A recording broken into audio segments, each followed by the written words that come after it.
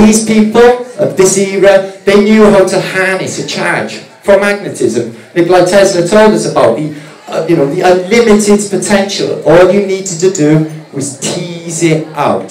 They used the things called resonators. These things here with mercury in balls. Some, some people say red mercury, but mercury balls into resonators. They would oscillate and vibrate in the wind or in the ether, and they would create a charge, which would go down into these things here, which are tiles. Tiles, um, they're basically conductive, and they would be used later for energy, free energy. The free energy of the civilization we regard as Tartaria, okay? And they were in a golden age. They, if you think yourself, oh, well, they invented the railways, the underground, and they did all of this stuff in the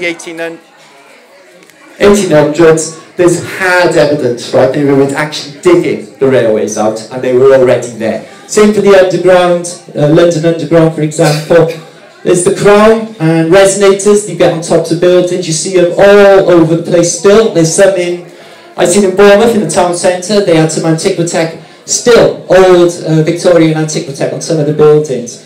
And this is essentially what I uncovered. I uncovered this by going through ancient manuscripts, um, Lead Haar atlases from 1733, and I noticed an abundance of churches um, and then I just put two and two together, and I thought, well, you know, the higher up you get, the more electromagnetic potential, more static potential. So the higher up you go, like a church spire, um, you're up there, and you put a resonator on top, makes perfect sense. And I also think post-reset there was more EM activity than there is now.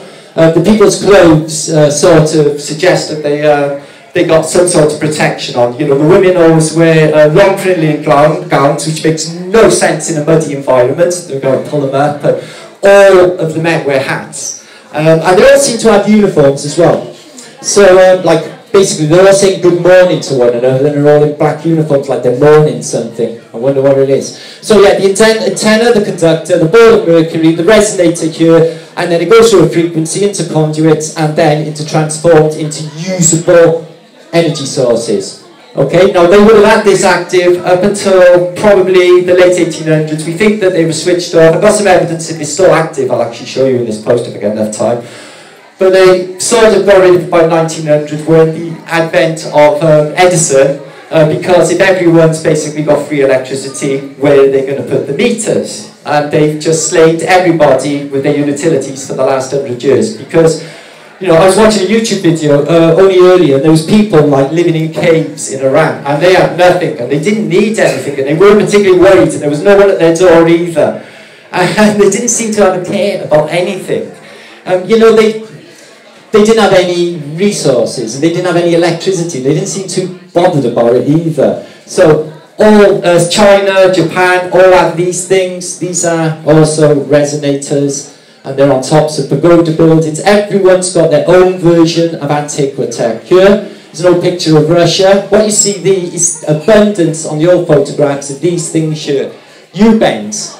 What you don't see is any wires attached to them. They're not the telegraph because we can see the telegraph in other pictures alongside. These things are just there and they're next to these things, which is electricity generator, gener generators. And then it's fed down into these things, which are these U-bends, and then that is circulated through, um, I don't know if you noticed the amount of steel bollards and chains that are all in antiquity and railings, which they all removed in World War II. Um, they said that was for the war effort. It wasn't. It was to cut down Antiquitech. Trams, um, in the past, um, were they all run by a horse cart or, or overhead electricity? Not in this case. You can make your own mind about what the propulsion is for this, but it's going over a steel bridge, which has Antiquitech, this thing has got something inside which is self-generating. It's picking up electricity straight from the ether and it's running on that. And that's exactly what they were doing. Cars were electric before they were petrol. The internal combustion engine, and we're still on it after 130 years, makes no sense whatsoever. These bends here, no wires between them, they were energy transference. This tram here, it's in the centre of Moscow. What is this propulsion? There's no wires above it, there's no horses on it. This is in the days before the motor car, when it's still horse and cart. So I think they're using free energies on trams, and some of the trams show you these things inside. I can't tell you what they are, but this ball inside, um, we see quite a bit in antiquity. We've got some ideas of what this ball could be, but it's a magnetic device, um, which I'm going to do on a future post. Okay? And I've also talked about circuit board cities. Now, it seems that all of the cities are on older grid patterns, and places like um, Angkor Wat in Cambodia can be literally overlaid with the motherboard of the computer, and they're identical. And church floors have got conduits for motherboards of computers. Now, why would they be doing that? Because the whole thing is acting like a computer. The whole thing melted down like a computer melts down and gets reset. This place has been designed a long time ago and we have been reset. We can see the existence of the older world. And this, this um, circuit board city, okay, is in everywhere. You can see it everywhere. You can see in Siberia uh, parallel lines, I posted them on my channel, that go for hundreds of miles, perfectly straight, perfectly perpendicular. Somebody's been putting these petroglyphs there in the past. But what, what we're saying is, is, the grid system of an older world, older civilization, highways, cities, etc. You can see these lines all over Nevada and places like that in America. These lines, these petroglyphs, these grids are worldwide. Uh, this place, so this is the SkyTrain. Um, this is in a German city close to Frankfurt. Um, and basically it's using electricity and it's at the turn of the last century, this is 1900 this thing was built in the 1800s, and you can see this is an old world which they built everything on horse and carriage, yet for some reason they're able to put up these massive steel gantries, this massive steel, um, you know, thing for holding the train, and it's driving on electricity when the rest of the world is apparently on horse and carriage, but not so. You can see how superior and advanced these people are at this time. Um, I think because there's um, evidence Liverpool had a SkyTrain and they got rid of it by the 60s. Um, Philadelphia, New York, other places had SkyTrains as well. Um, I think that the whole place had a load of SkyTrains in the past. Um, but you can see the size of these uh, viaducts, it just shoots through. Look at the size of these uh, buildings in the past. Superior architecture. They used to use a thing called the divine, oh, excuse me, what two. Um, divine principles based on sacred geometry. Okay, they don't do that in the modern day at all. They can't do it. They've lost the technology or they're just not going to repeat it. Buildings were living buildings. They're made of stone. Stone is crystalline by structures. You know, crystal holds memory. It's in your computer. You know, silicon chip. These buildings were conscious. You can feel it. I've been into some, when, you know, when I was back in my merchant navy days, I used to go in some of these big Russian buildings. I go in there, the ceiling was massive high. I like I was going to get a nosebleed. You know, this thing was overpowering, you know, when it's a building. How can a building be doing that to you? But, um, excuse me. So, yeah, they were using amazing technology like that. Now, Antiquitech, this was caught last summer. Now, if you can imagine the energy fields, like you get off the top of pyramids, okay, electromagnetic or electric magnetic energy field vortex or torus, traveling above it, and it's been, you know, you can see there, there are a couple have spotted it in America here above, and it's basically freaked them out a bit. And I've also got some evidence of um, Antiquitech still active. Excuse me. Let me just get rid of that. Oh, excuse me. How do I make that smaller? Excuse me. Damn. Uh-huh. Oh, there you go. Oh. Excuse me about that. So, um, Antiquitech. Now, this is um, a temple in Angkor Wat, um, excuse me, in uh, Phnom Penh, the capital of Cambodia. You that?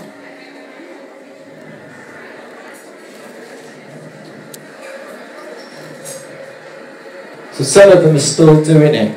Okay, now I was in the Czech Republic uh, in 2021, and it's just full of Antiquitech, and literally at night when you go around, you can see like an aura or a, glow around the Antiquitech, still to this day. I think there's still a lot of them, they're still um, primed for active Antiquitech, you know? And in this case, it's still going. And we've got um, a backup corroboration for that as well, because there's a YouTuber called UAP who found a magazine cover um, with that, um, you know, basically doing that on the front. Uh, whatever, that's it's like a, St Elmo's fire, you know, similar, to, similar to that effect, but static electricity. And it's got that cracking and that clicking, you know? Very unusual. So that's some evidence of Antiquitech active uh, still to this day. So that is one of my one more of my discoveries. Excuse me, with the microphone. Um, and how long have I got, Ian? He's not there, is he? So um, another thing I discovered, and I took, covered it quite a bit in my book actually, is um, this technology. You have good, am I? Um, the churches, um, or what I call the church devices of energy centres, were once healing centres. So what I suggest is after a reset, the people that come along after a reset, which we regard as arrivals, because most people have been in bunkers, have gone underground, and they come up and they find these churches with nothing to do with God or religion, by the way, until they took these over, and these pipes, these pipe organs, which are all connected together, um, they produce a sound, a resonance, a vibration. And this vibration can heal you. Okay? They can eliminate 432, for example, frequency. So these, these places, churches, were healing centers. People used to go in there. They used to be elevated and exhilarated by the organ music. When they came out of there, they were like, oh my God, I'm born again. That was God. It wasn't God, it was the organ uh, that did it. But so um, it's good for your organs or anything else that begins with org. Um, there was one note, which is called the brown note, which they um, basically removed in the 1700s because apparently it was affecting people in the pews a little bit too much. It was getting embarrassing. So they removed that note. They dropped the tone. Uh, but it is a technology also that can create a charge. That can create a charge. I'm going to cover briefly, if I've got enough time, the fasces, which is that thing there, which is what you see in Roman um, iconography, which is a bundle of sticks pressed together, which I proposed, and I got really popular actually, were a type of weapon used in the antique world, which is akin to a dew weapon or a phaser, something like along those lines. That was the bad side of it, but the good side of it right, was healing, making plants grow for, with electroculture, making plants grow four times the size. So the key was, with this technology, which is regarded as technasmia, which is an arm of Antiquitech, another thing that I um, unfolded, was that they placed these, these beautiful organs, under these stained glass windows, which were treated with lead and specific properties, and these, uh, they, they work like car speakers. They augment the resonance and the sound out into the ether outside.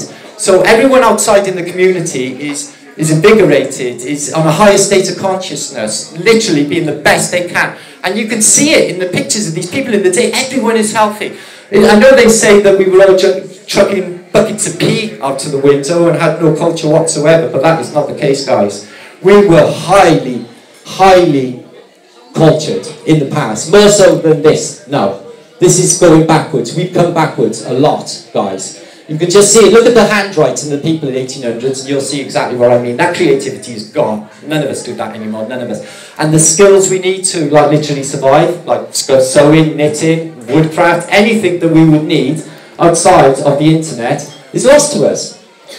So you can see a Jesuit church here and these windows, they all have a cymatic pattern. If you don't understand cymatics, vibration causes a pattern in water or sand. Each vibration causes a different cymatic frequency, and these windows are all set at a separate cymatic frequency to do a separate job.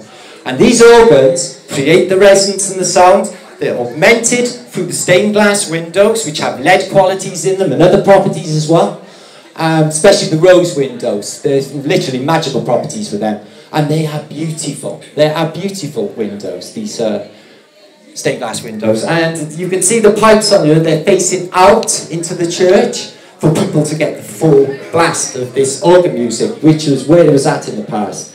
Healing, well-being, electroculture, better environment, better energy in the air, full stop, not, you know, not that, uh, everything is, uh, up. And that's what these things create. Well, it is now. It is now. I, am you know, I'm not missing it. I've been around 56 years. Things were not like this years ago. You know, the, the, the 90s were okay, if I remember rightly. They were okay. Not brilliant, but they were okay. So um, let me just show you Fache. So um, this was probably one of my biggest decodes. Um, where you get a bundle of rods put together, okay, and it creates a charge when you do so. And this thing is encoded right through antiquity. You can see it on all sorts of buildings. This is the fasces and the labrys. And they actually state um, in the official narrative this was a weapon, it was used as execution. I'm suggesting this is an ancient electromagnetic weapon, and I'm suggesting that the technology of the ancients was electromagnetics, okay, magnetism. Not like today, with explosive technologies, this is implosive technologies. This is where it's going at. There's, there's just no toxics, there's just no waste, there's no these are uranium rods, which coincidentally look exactly like the fasces. I've been thinking all along about the nuclear hoax, and I've been thinking that, you know, they're boiling water using um, radiation rather than uh, the uranium that they say is, you know, also dangerous to get a hold of and all of the mining. And this is my laser. My laser is exactly the same as the fasces and does exactly the same thing. It's a laser. It's built the same as the fasces, all bounded rods put together, and it's exactly the same as an undersea cable. This was put down under the Atlantic Ocean, apparently by the Great Western, Brunel's famous ship, and it was the first under-Atlantic sea cable to connect Europe to America. They're supposed to put it down in the 1860s. This thing, if you look at it on the side, is exactly the same as a fasces, and I put it, it's exactly the same as a church window because we're all looking at the same technology. Allow me to continue. There's the sea cable that apparently went into there. I think it was there already. And there you can see the outside of a cymatic window. I'll just show you that before I show you this. So there's experiments you can do with, you know, uh, oscilloscopes, uh, words experiments like Emoto's, where they show you, you know, human feelings like love and uh, empathy will express beautifully in uh, water. And words like hate or despise will look like lumps of poo in water. Um, these are cymatic patterns and they are the same as what you exhibit in church windows, showing you that church windows were a cymatic science and they were a resonation science and this place is missing out big time. This comes back and the whole world will benefit. In the beginning was the Word. Word is a vibration. First words in the Bible in the beginning was the Word. And then the Word was God. The Word was love, I think. Um, DNA, uh, if that's a thing, but the cymatic patterns on an oscillator here, they're exactly the same as what you get with church windows. Not only church windows, star forts. If you don't know about star forts, these are everywhere in the world. There's at least 10,000 we know of. They're supposed to have been there, put there in antiquity, probably around the Middle Ages, they think. Um, they say they were defensive um, bastions, but that's not so because everyone in the world shared exactly the same plans for the star forts. They had exactly the same as the science of church windows. It is fractal geometry breaking off. This is showing you this is a highly advanced science and it's nothing to do with um, knights and horses and cannons and battles because that's what they want us to think we were. And I really don't think that's all we are. I don't. I think it's all bullshit. I don't think that anybody's going battling anywhere. All of the wars are on television, you know. And um, the bombing campaigns of World War II, that had to be something with just getting rid of antiquity. You know, Dresden, for example. You know, there's no reason that should have happened to, you know, a civilian centre, all those people. It's just absolute murder. And what is it? the most beautiful pearl of antiquity in the whole of Europe, you know, and it just all got burnt out. To hide this technology of the past, to hide this beautiful antiquity. So this is the flower of life, but it's also identical to when you look down a fasces because it is all exhibiting the same thing. It's all interconnected and it's all exactly the same science. Fasces science. And that's what it's all about.